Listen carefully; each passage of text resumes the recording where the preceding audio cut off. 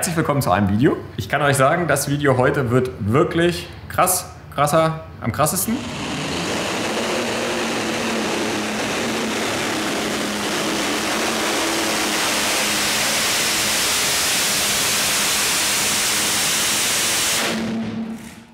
Von der Technik her. Wir sind nämlich heute bei einem Traktor-Pulling-Team.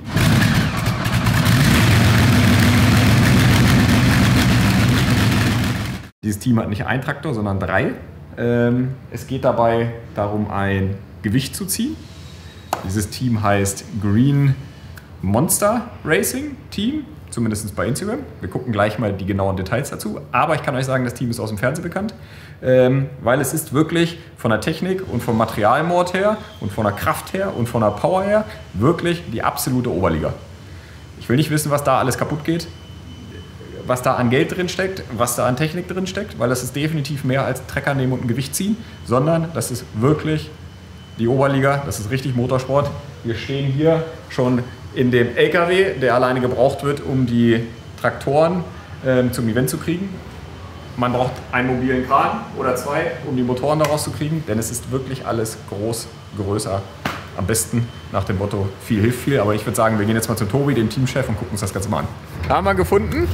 Darf ich euch vorstellen, Tobi? Du bist der Teamchef. Ja, genau. Wir haben gerade schon so ein bisschen euren Truck von innen begutachtet und haben schon festgestellt, dass das alles scheinbar ziemlich groß und massiv sein muss, äh, weil mit dem Deckenkran. Ja, also Motor unser wiegt ja, ca. 800 Kilo. 800 Kilo. Ein Motor und bei 2500 bis 2800 Wettkampf PS pro Motor. Pro Motor, das heißt, da sind mehrere drin. Genau, wir haben drei Traktoren. Mhm. Einer mit zwei Motoren, der andere in der leichten Klasse auch mit zwei und einen großen in der 4-Tonnen-Klasse, der ist mit drei Flugzeugmotoren ausgestattet. Also dreimal 2500 PS. Genau. Boah, das klingt doch äh, nach Leistung. Ich würde sagen, wir gehen mal rein, weil hier ist es so ein bisschen windig und gucken uns das Ganze mal an. Also es ist auf jeden Fall sehr ländlich hier. Oh, ja, okay. So,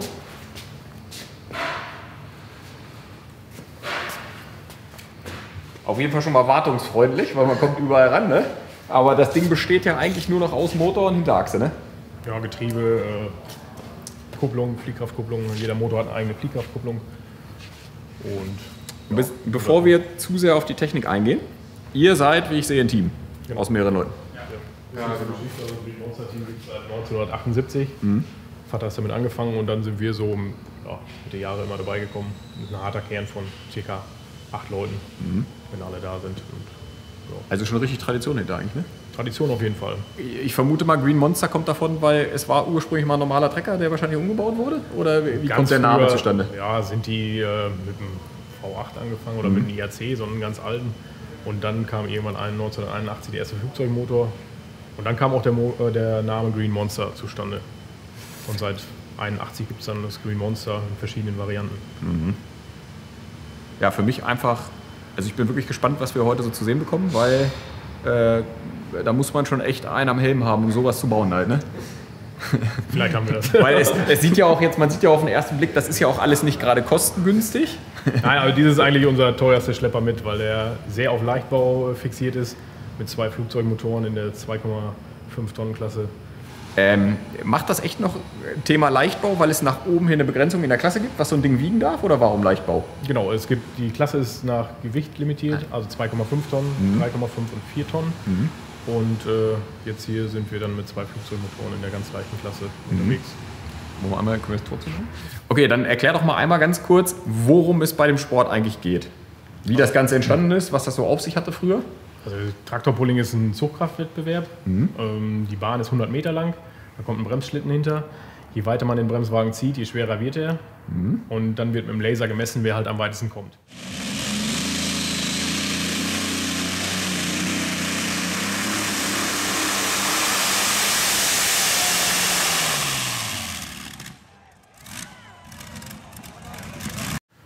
Und dann spielt eine ganz große Rolle Reifen, Chassis, Motoren. Also wenn das alles zusammen top abgestimmt ist, dann. Das heißt, das Gewicht drückt sich richtig in den Boden rein? Und man genau, zieht also eine, eine Kufe und der, hinten die Back nennen wir das Gewicht, läuft ja, ja. während der Fahrt weiter nach vorne, bei jedem gleich. Und ja, Wenn wir jetzt so einen ganz normalen Trecker nehmen, wie man ihn vom Bauernhof, vom Feld kennt und Ja. so weiter, schafft der das überhaupt, so ein Ding zu ziehen? Ansatzweise ein bisschen? ja, das Ding wiegt 25 Tonnen ungefähr und äh, klar kann er seine verschiedenen Gänge einstellen. Ja, ja. Wenn wir sagen, sind alles die gleichen Schlepper, dann können die schon immer bremsen. Und bei den stärkeren wird dann mehr Gewicht reingepackt und ein größerer Vorschub, dass man auch 8.000, 9.000 PS bremsen kann. Krass. Also Ziel ist es, die 100 Meter überhaupt erstmal zu schaffen. Genau. Wenn jetzt 10 Starter sind, wir- geht's, äh, die, die über 100 Meter kommen, die haben Full Pull. Und die Guten gehen dann ins Stechen. Und dann wird nochmal eine schwere Einstellung gemacht. Wie, wie groß ist da so die Chance, dass man das schafft, die 100 Meter? Eigentlich sehr, ja, nicht dran. Die, das Bremswagenteam weiß schon, Äh, äh. wie sie welchen Trecker zu handeln hat. Und vor der Klasse, die ähm, ja, 100 Meter, die filtern eigentlich immer die besten vier bis fünf raus, damit es ein, spannendes Stechen gibt. Äh, Aber man stechen heißt nicht, man fährt nicht gegeneinander. Ist es immer nur eine Bahn oder gibt es das Ganze Es auch gibt wirklich? eine Bahn, die wird immer wieder zwischen jedem äh, Zug präpariert, Mhm. mit so einem Walze und Erdhobel. Äh, und ist immer der gleiche Bremswagen. Ja, ja. Ist alles, äh, Zugpendel ist in der Höhe Mhm. immer gleich eingestellt, dass es fair ist für alle, die an den Start gehen. Und äh, wie ich sehe, betreibt ihr das auch scheinbar ziemlich professionell erfolgreich seit Jahren. Ne? Ja, wir geben uns Mühe. äh, Gibt, nein, es da, aber gibt es da echt so viele Veranstaltungen von, dass man so viele Pokale sammeln kann? Das sind ja jetzt äh, Ein Bruchteil, 40, ne? 40 Jahre. Wir hatten mal Jahre dabei, wo wir pro Wochenende drei Pötte mit nach Mhm. Hause gebracht haben. Jetzt manchmal zwei, manchmal drei, manchmal auch keinen. Also das ist Abgesehen von diesem Jahr, wie oft könnt ihr normalerweise fahren? Ähm, wir haben circa 15 bis 20 Wettkämpfe. Oh, Also in ganz, in ganz Europa. Fast mehr als Viertelmalerin, die wir haben. Und äh, ja, das liegt dann jetzt äh, seit ein paar Jahren können die Veranstalter unterschiedliche Klassen buchen. Und das kann sein, dass wir mal nur mit dem Mieters Green Monster losfahren. Es kann auch sein, dass wir mal nur mit dem Green Fighter losfahren. Äh, ja, das ist dann ein bisschen gesplittet. Aber es gibt auch Veranstaltungen, wo wir dann mit drei Traktoren an den Start gehen. Und dann werden alle Klassen gefahren. Ähm, gibt es da auch was zu gewinnen oder ist das immer nur mehr so nur für den Pokal und die Show? Wie ist das in Deutschland Also so? es bei gibt sowas? schon ein Sieggeld, also Deutsche Meisterschaft fahren wir mit. Da gibt es äh, Kilometergeld pro gefahrene Kilometer und ähm, ein Sieggeld, ja. Ich sag mal ein Beispiel, eine 4-Tonnen-Klasse für den ersten Platz 500 Euro. Ah, okay. Eigentlich Peanuts, äh, das Geld ist dann Ja, wenn ich locker das- wieder verbraten. Wenn ich das hier sehe, äh, ist wahrscheinlich das Anmachen teurer als 500 Euro. Ne? ja, nicht ganz, aber äh, und beim Eurocup, wenn wir da mitfahren, gibt es für den ersten Platz 2100 Mhm. Euro. Da gibt es aber kein Kilometergeld, also wenn ich jetzt nach Schweden hochfahre, dann äh, Ja, ja, klar, dann vorhin ne, mit den Dingern. Kriegt ihr alle drei in den LKW rein? Nee, zwei. Zwei. Und äh, wir haben noch so einen, von der Firma so einen Mini-Sattel, so einen kleinen, da packen wir dann den Mhm. dritten drauf. Aber das ist maximal zwei bis dreimal im Jahr, wo wir dann vielleicht mit drei Trecker zur Veranstaltung fahren. Aber das ist jetzt nicht die zweieinhalb Tonnen Klasse. Doch, Das, das Ding wiegt nur zweieinhalb Tonnen, so wie ja, genau. steht. Deswegen äh, sind ja Titan-Auspuffrohre, äh, Aluminium-Kupplungsglocken. Äh, Ich genau Rohr richtig. ist auch. Äh, Oder ich, ich hätte jetzt gedacht, allein das ist so ein Rad hier. Das Ding wiegt doch schon 300, 400 Kilo oder so bestimmt. nein, äh, 100, 180, 190 Kilo ein Hinterrad mit Felge. Stell ich mir die Frage, warum die Autos immer noch so schwer sind. Ne? weil, weil das ist ja, da ist ja wenigstens mal richtig Masse und Technik dran, ne? Und nicht irgendwie nur so ein kleiner Motor mit ein paar Plastikteilen. Aber die Motoren sind komplett aus äh, Magnesium. Ah, okay. Ist alles schon damals äh, ja, im Flugzeug auf Leichtbau getrimmt. Okay, das tust du Und wir haben noch mal ein bisschen was abgeschreckt, abgeschmissen, was über ist. Ähm, okay, wo fangen wir an? Hm, Klasseneinteilung nach Gewicht. Auch unterschiedliche Motoren, beziehungsweise ein Motor, zwei Motoren, zwei Motoren. Äh, der 3. Der hat drei sogar. Aber der ist noch die alte, also die Motoren untereinander haben verschiedene Leistungsstufen, sagen wir mal. Das heißt, mit drei Motoren ist er dann über zweieinhalb Tonnen, das ist nochmal eine größere Klasse. Das ist die 4-Tonnen-Klasse. Der ist mit äh, drei Flugzeugmotoren in der ganz großen Heavy Modified. Aber da kann man den hinteren abnehmen, um in der kleineren Klasse zu fahren. haben wir früher gemacht, machen wir jetzt nicht mehr, weil wir gesagt haben, jeder Trecker in einer Klasse mit 100% am Start und Gas und am besten gewinnen. Als allererstes muss ich jetzt einmal fragen, was ist eure Motivation, Wochenende für Wochenende auf solchen Events mit so einem Trecker zu hängen und das Gewicht da so zu ziehen? Weil es ist ja eigentlich mehr so, du sitzt da wahrscheinlich drin, ist natürlich trotzdem so, dass du auf den Punkt genau alles richtig machen musst, aber es ist jetzt ja was anderes wie jemand, der Woche für Woche Rennstrecke fährt oder so, um eine Kurve. Da muss man ja schon irgendwie so ein Fable für haben, dass, dass es laut ist, knallt, man Angst hat, es fällt gleich alles auseinander und so weiter, oder nicht? Ah, so ganz so schlimm nicht. Also ist ja alles Eigenbau, selbst konstruiert und wenn man dann auf der Bahn äh, da fährt und kann gegen die anderen gegen anstinken, halt mal, dann ah, es motiviert einfach immer wieder. Und wenn man schlechter ist, dann motiviert es wieder mehr, dass man besser wird. Also ist es schon so der Aspekt, weil das habe ich nämlich beim eigenen Autobauen auch immer so, dass man eigentlich Spaß daran hat, selber was zu bauen und dass es halt am Ende dann auch wieder funktioniert und halt einfach, Genau. einfach geil ist so. Ne? Ja. Okay, ja, das kann ich verstehen. Ich, wenn ich so viel Platz hätte, würde ich also der. Schrauben ist genauso schön wie, wie die Wochenenden, Mhm. Äh, wenn man da keinen Zeitdruck hinter hat. Wenn so ein Wochenende durchschnittlich normal verläuft, wie sieht das dann aus? Was muss danach alles gemacht werden? Also wie, wie oft fahrt ihr dann so ungefähr? Äh, mit jedem Trecker maximal dreimal, Ah, okay. aber ähm, normalerweise zwei Züge. Mhm. Den ersten Qualifikationslauf, wenn du Full Pull schaffst, dann ins Stechen und dann ist eigentlich Habt ihr eigentlich? Trecker gewesen. Ja, wenn es gut läuft. Okay, das heißt zwei, drei Läufe und dann viel Wartung Dann, oder ähm, geht? Wir lassen das Öl ab, das Öl wird abgekocht. Wir haben so einen Kochtopf da, mit dem Methanol, was an den Kolbenringe dran vorbeipisst, äh, dass das wieder aus dem Öl raus ist, Mhm. damit wir nicht jedes Mal neues Motoröl benutzen. Und da können wir da eigentlich mit einer Ölladung ein ganzes Jahr fahren. Echt? Ja, also Okay. ist nicht so. Ja. Ein, Sekunden. also ein Zug ist 10 bis 12 Sekunden, ein bisschen mit warm laufen lassen und das war's. Ne? Das eigentliche Chassis ist auch komplett Eigenbau. Das ist Genau. jetzt nicht so, dass das, dass das irgendwann mal ein Trecker war, sondern das Nee, ist nee, wirklich. komplett Einbau. Dirk hat das komplett im äh, 3D gezeichnet alles. Und der, dieser Trecker war eigentlich komplett vorher im 3D fertig, bevor wir gesagt haben, wir legen los zu bauen. Und dann haben wir zwei Motoren, die ursprünglich aus dem Flugzeug kommen. Richtig. Das heißt, wenn die jetzt kaputt sind, muss ein Flugzeug geschlachtet werden? Oder, oder Äh, wir haben noch gute Reserven, da können wir gleich mal einmal gucken, was Gute machen. Reserve, ne? das klingt schon so, als wenn da noch 20 Stück stehen oder so. Aber das heißt, irgendwann ist da vorbei, theoretisch. Wir bauen auch viel selber. Laufbuchsen werden selber gedreht, Kurbelwellen sind noch original, Hauptlager sind schon neue, die wir uns anfertigen lassen haben. Dann Kolben sind auch, Rennkolben drin, Ventile sind auch aus dem Rennsport, Zylinderköpfe werden auch überarbeitet. Mal werden Blöcke geschweißt, auch wenn ein Loch drin ist. Aber tolle, tolle Löcher hatten wir schon lange nicht mehr. Okay, also eigentlich ein V12 aus dem Flugzeug. Mit was für einem Sprit wurde der im Flugzeug betrieben? Kerosin. Kerosin, okay. Und was für eine Leistung hat er da gehabt? 1000 Rad PS. Ja. Also ihr habt Leistung ungefähr verdoppelt, kann man sagen. ja.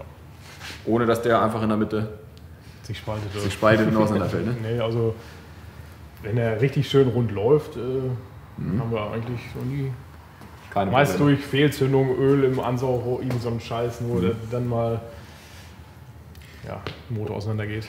Okay, V12. Ähm, ist das nur ein geteilter Auslass oder ist das ein Vierventiler schon? Viel Ventilator. Vierventiler. oh. Aber auch serienmäßig damals schon im Flugzeug? Oben liegt eine Nockenwelle, da, war da vorne liegt noch ein Zylinderkopf, können wir gleich mal gucken. Technik vom Feinsten damals. Ne? Genau. Okay, also mit, äh, Sprit, Methanol. genau. Und deswegen hat der auch rein gar keine Wasserkühlung oder irgendwas. Wir fahren ja nicht äh, stundenlang oder Minuten. Äh, wir lassen ihn warm laufen Ah, immerhin. und dann, und dann äh, kriegt er 10 Sekunden, 15 Sekunden Volllast und dann äh, ist es auch schon wieder gut gewesen. Vorne den Lader füllen wir aber mit Wasser. Die Ansaugerluft, ja.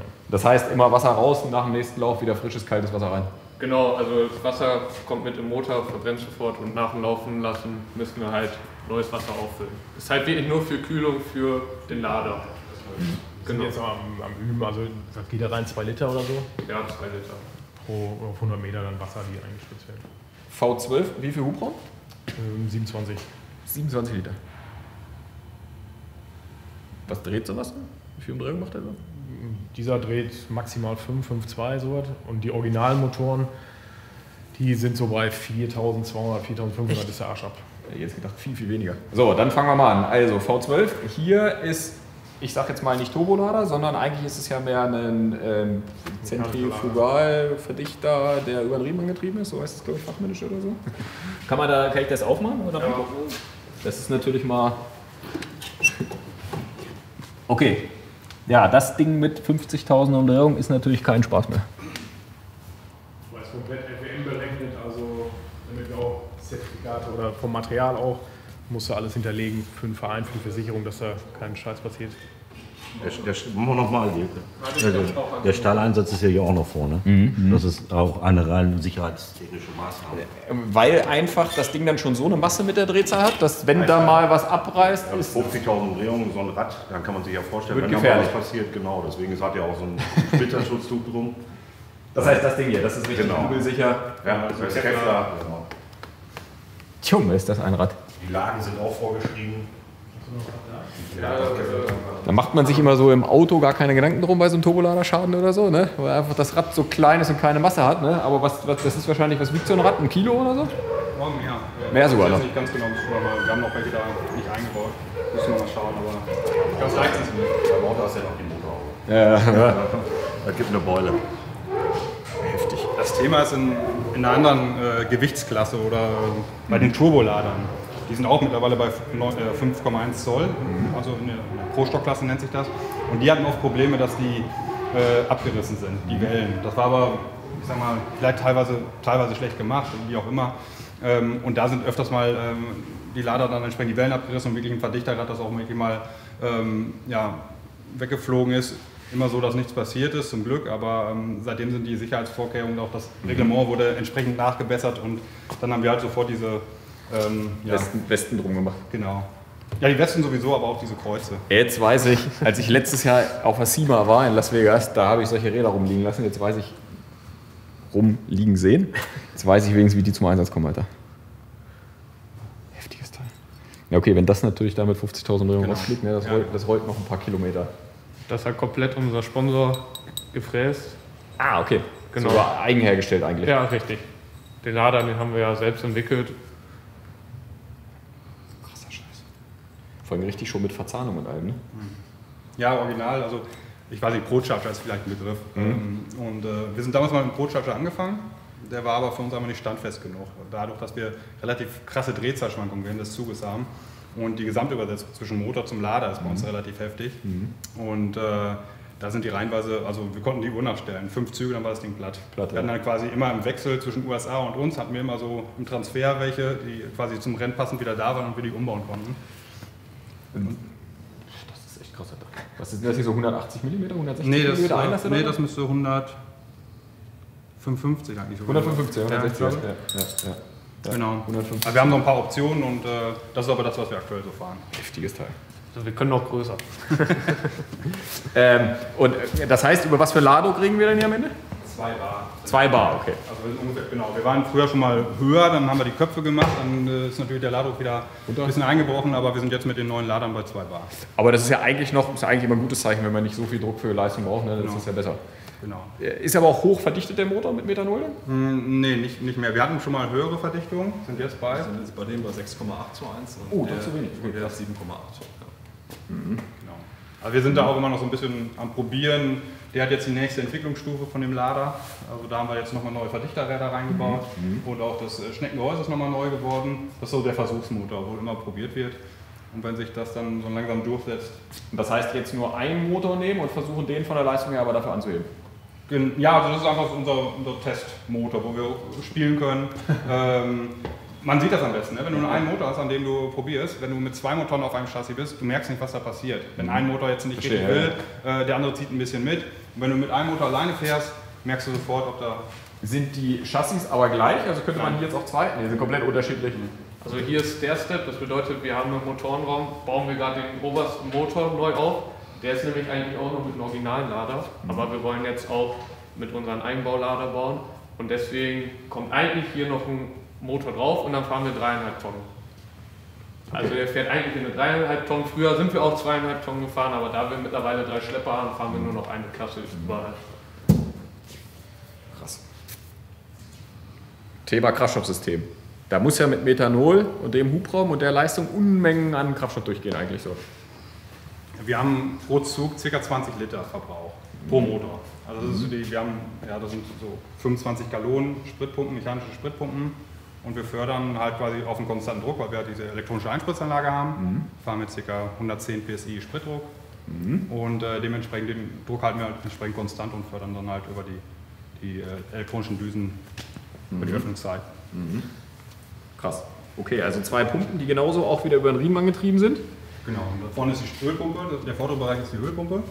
Die, ja, die hinteren beiden Sektionen. Ne? Und das rote vorne. Achso, ja, das ist Ölpumpe und das ist Spritpumpe. Genau. Sieht man ja auch an diesen dezenten Gartenschläuchen als Ansaugung hier, ne? Ja, die anderen waren ein bisschen zu klein und zu weit. Nicht zusammen. Da geht auch mal Sprit durch. Genau. Okay, das heißt, Ölpumpe ist dann auch richtig eine Trockensumschmierung, logischerweise in dem Fall. Genau. Ein, in dem, ja, genau, genau. Spritfilter, okay, und da geht's dann. rein.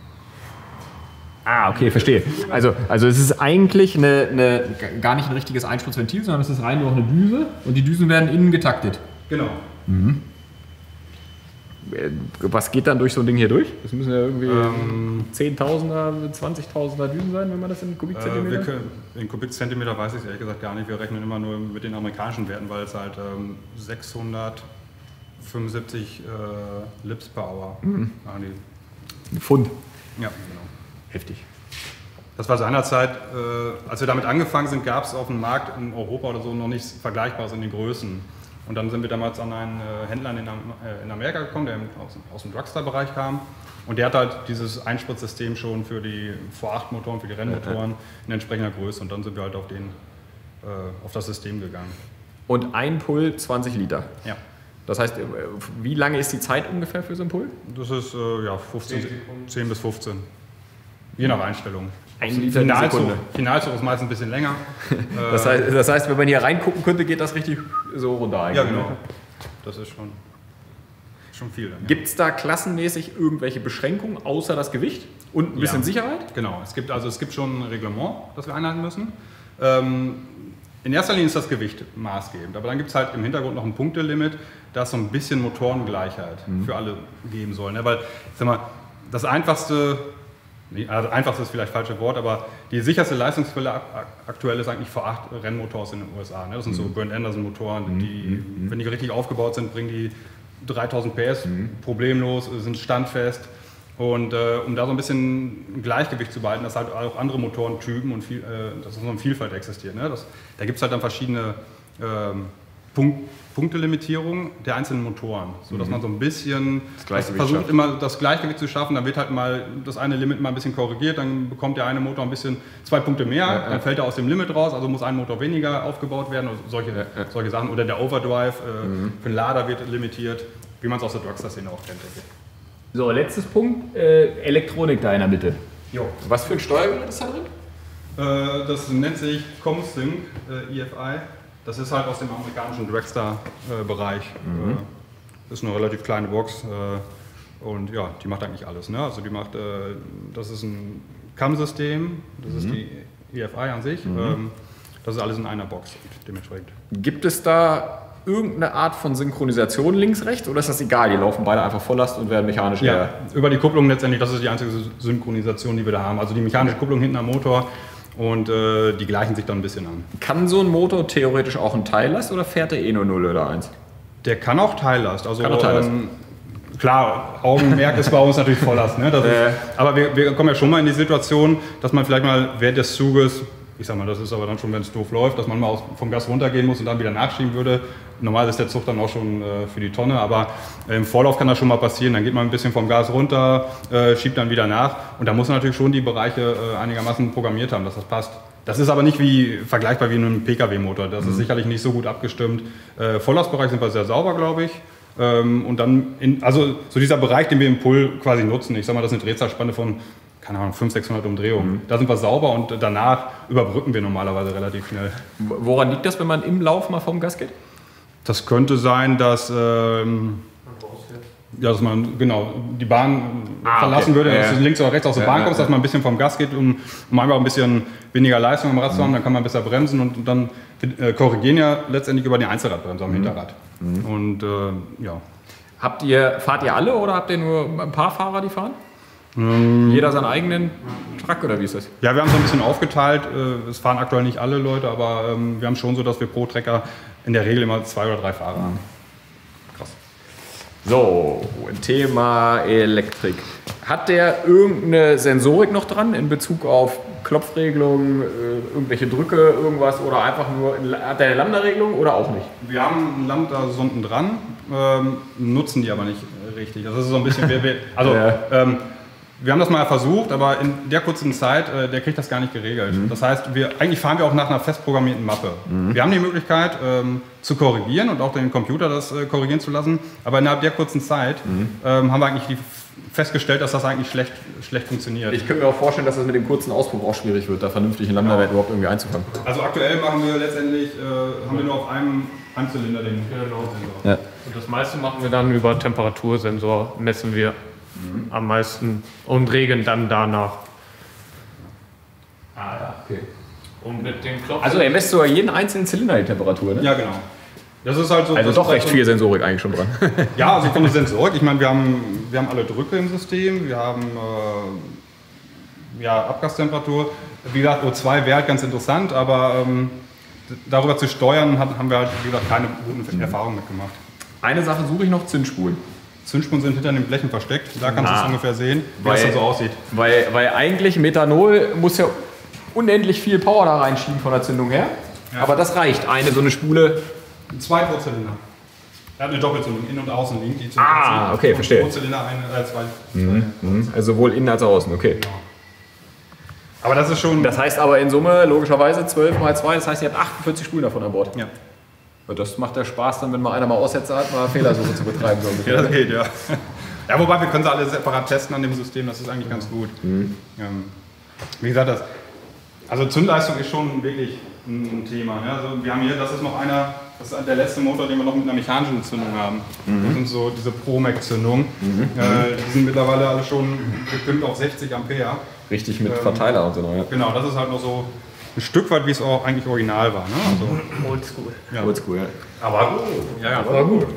Das heißt, der hat jetzt ja auch zusätzlich auch nochmal eine Einspritzung vor dem Kompressor? Das ist eigentlich, das, das haben wir überall, das Haben ist Wasser. auch, Aber okay. das ist nur Wasser. Ne? Ah, Wasser. Genau, wir, wir ähm, schicken einfach Wasser zur Kühlung rein. Mhm. Das, bei den selbstgebauten Ladern müssen wir das machen fürs Verdichterrad, Mhm. weil es aus 70, 75 Aluminium ist und bei der hohen Temperatur wird das halt dementsprechend instabil. Und dann schicken wir halt das Wasser einmal zum Kühlen rein, dass wir den ganzen Ansaugtrakt kühlen und natürlich, das, das hilft auch richtig mit der kalten Ladeluft, äh, wir kühlen ja die Luft Ladeluft machen wir eigentlich äh, erst kalt, weil wir die 13. Düse oben fangen wir jetzt langsam an zu testen, dass wir in eine Ansauganlage noch Methanol reinspritzen, dass es schön kalt wird. Das heißt eigentlich gar kein Ladeluftkühler direkt vom Genau. Turbolader im Motor. Genau. Aber das Methanol verbrennt eh so kalt, dass das noch einigermaßen Ja. Ähm, wenn du das beim Autoturbolader machen würdest, wäre Rad sofort kaputt. Die Weil sind so, so genau, die sind, nee, die sind so fein und filigran, dass es Okay. wirklich bei, bei der Umdrehung ist, das direkt kommt da ein bisschen Wasser drauf, macht das gleich. Nö, das, das können die ganz gut ab. Die können das. da sind sie relativ robust. Das ist auch noch die Version, die immerhin so einen, einen halben Auspuff dran. Das ist eine originale Laufbuchse, wie sie aus, ja, das ist schon nicht die, die blanke, das wäre eine originale, wie sie aus dem Flugzeug kommt, das ist schon eine nachgebaute. Und die äh, Sättel und so ist auch alles von euch gefräst. Die jetzt nicht, äh, da hinten haben wir selbst gebaut.